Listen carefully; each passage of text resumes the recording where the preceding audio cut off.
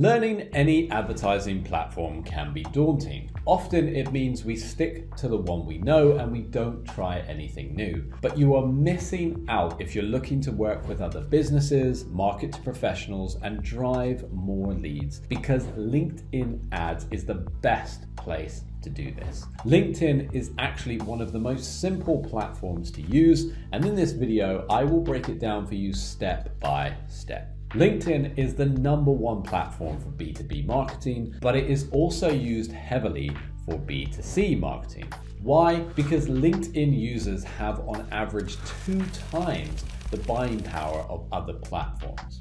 Put simply, people on LinkedIn have money and more of it ready to spend.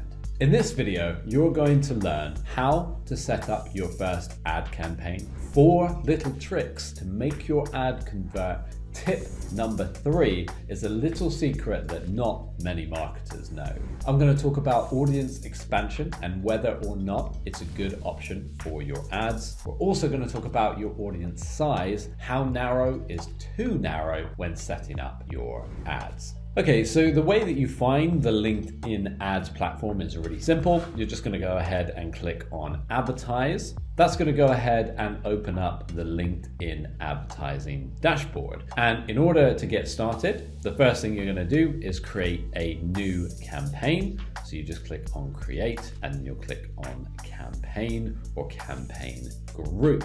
I'll dive into what that means in more detail a little later in the video. So now that you are in the dashboard, the first thing we're going to talk about is how to actually create an advert. So if you click on create, what you're going to do is click on campaign, and that is the first step. You see it's going to open up a campaign group. Now, a campaign group can be a number of different ads. You can run a variety of different ads and test them all within one group. That can be really useful if you have one specific product or service that you're trying to promote. So we'll go ahead and click on next. And then the first thing it's going to ask you is the objective of your ad. So as you can see, you have brand awareness, you then have, you know, consideration, you want website visits, engagement, you have conversions. Personally, I don't recommend using awareness on LinkedIn. Don't think it's particularly useful. Don't really think awareness is useful for any platforms. Ultimately, what you want is to get people to your website, or you want them ideally to become a lead or you want them to actually convert on your website. So for me personally, and what I recommend to you is either a website conversion, someone is actually buying something on your website or taking action on the website, or lead generation, you're actually getting a lead, and then of course that is valuable to you. So for this example, I'm going to select a website conversion. And then it's going to pop up, it's going to ask us about location, you know, target audience, those types of things. We'll come back to that in a little bit. But first, what I'm going to talk to you about are the ad formats because ad formats on LinkedIn are a little bit different to a lot of other platforms. They have some really cool ad formats you can't get elsewhere. So, for example, you have all the things you would expect a single ad, a carousel ad, video ads. But what I think is very interesting about LinkedIn is you have these message ads. So this is where your ad is going to actually be delivered directly into your target's inbox. LinkedIn also has an ad format called a spotlight ad. What they do with this is personalize your ad based on the individual's profile data. Okay, so now that we've covered some of the advertising formats you can select, let's rewind a little bit and talk about how you would get started step by step because there are a couple of options I would avoid when you're actually setting up the campaign. I'll cover those in just a moment. One of the very first things you're going to want to do is set up a LinkedIn company page. This is super easy. It can be done by clicking just a few buttons. The other top tip I would give you here is to make sure you get your payment details set up. You don't want to get through this process. You haven't got that set up can't get your ads out there. First up, we have campaign groups, like I mentioned earlier. This is really important to get everything linked to a certain group of ads. You can then manage the budgets, dates, and everything for that particular group in one place. So Now that you have a group set up, we'll dive in to creating the ads for that group. A quick tip I would not recommend using the brand awareness options that LinkedIn offer. You want to focus on a website conversion on lead generation, as I touched upon earlier.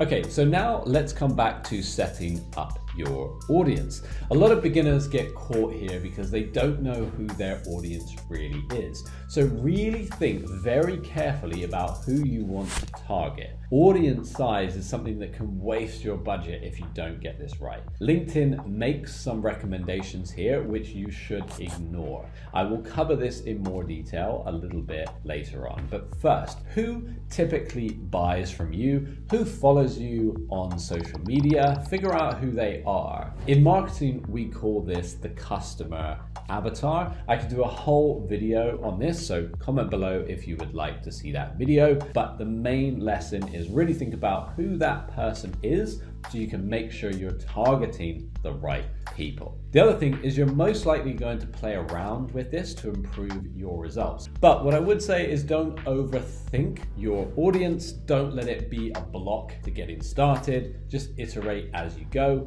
and improve upon it. Another great tip is using exclusions. A lot of people focus on who they can target, but don't think about who they should not be targeting. You don't want people seeing your ads who are not relevant at all. Finally, it's great if you already have an email list or data on your customers. Use those that can help you with targeting. But today I'm going to focus on audience attributes, i.e., a completely new audience because this is made for beginners. So, as you can see here in the LinkedIn dashboard, we have audiences and we have audience attributes. So that's what we're going to focus on here. So you can select company, you can select demographics, education, job experience, you know, interest and traits. These are all pretty self-explanatory. I would just advise that you spend some time in each of these options. So let's take a look at demographics for an example. I won't show you these in too much detail because they are relatively straightforward. But what we can do is select the age um, and then you can select, you know, if your product is for 18 to 24 year olds, or 25 to 34 four year olds, and then you can select accordingly. And you can, of course, go into a lot more detail by choosing other things education, job experience, you know, interests, and traits to make these as specific as possible. So as you are selecting attributes, you're going to want to keep an eye on your audience size, which is this number right here. The larger your audience, the cheaper it is to run the ads, and the more narrow, the more expensive. But the more likely it is that these people will be relevant.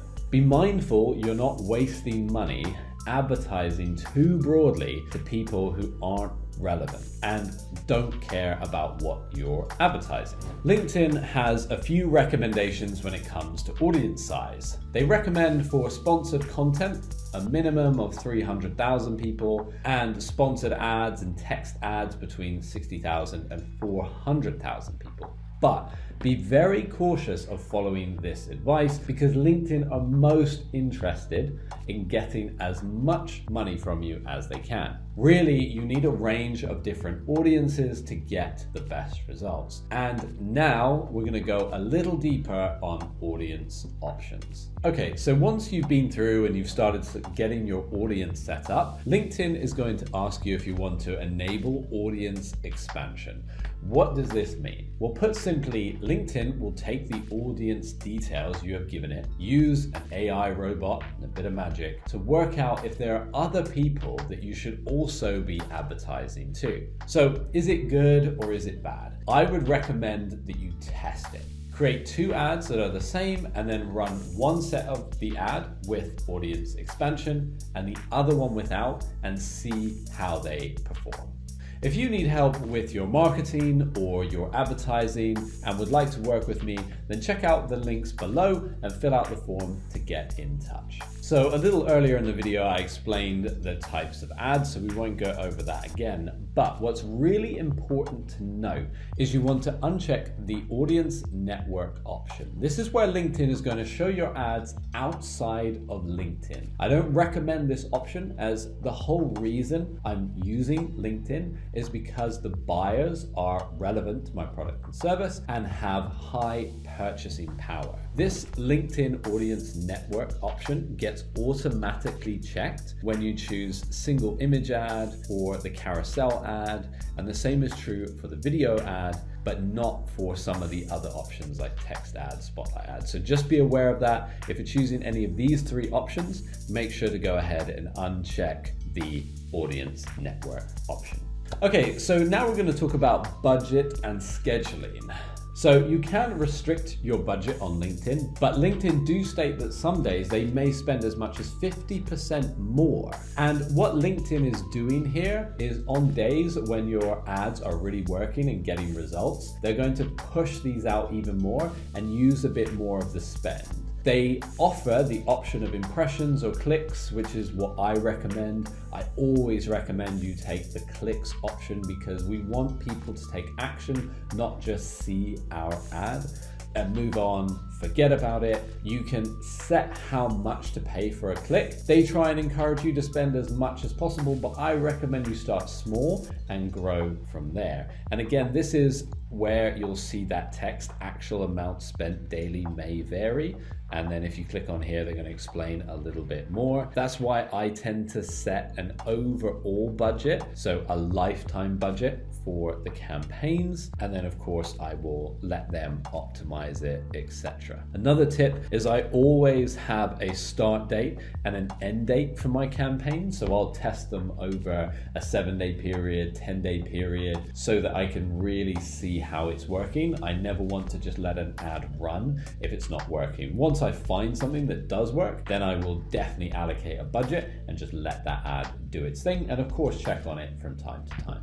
Now, when it comes to conversion tracking, I would highly recommend you get this set up. There are some options that are really straightforward, but for the most part, to really get this working, you're going to need a developer or an expert to actually go in and set up conversions so they work well. Personally, I usually find people on Fiverr who can do it for $10, $20, and they'll get it all set up and running properly. On that note, if you'd like to see a full video about conversions and how to set it all up and what I would recommend, then leave comments below and I can look into creating a video on that subject. Okay, so now let's move on to building the actual ad itself. So here I would click on next, of course, click save. It's gonna save the campaign. Then it's gonna open up where I can actually create the ad. So this is where I add the images, the text, and I can see how it's going to look.